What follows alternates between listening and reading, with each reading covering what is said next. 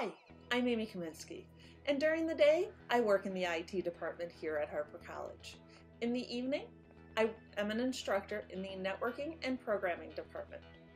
I love my jobs, and I love that there is a place for every skill set in IT. If you have the motivation, logical thinking skills, a knack for problem solving, and a quest to help others, then this is the career path for you. I want to take a moment to share my personal IT journey with you. Growing up, both my parents worked in the IT world, so computers and troubleshooting were second nature to me. After college, I was recruited to be an Apple genius. After five years with Apple, I was ready for a new challenge and took a position in the desktop and support department here at Harper College.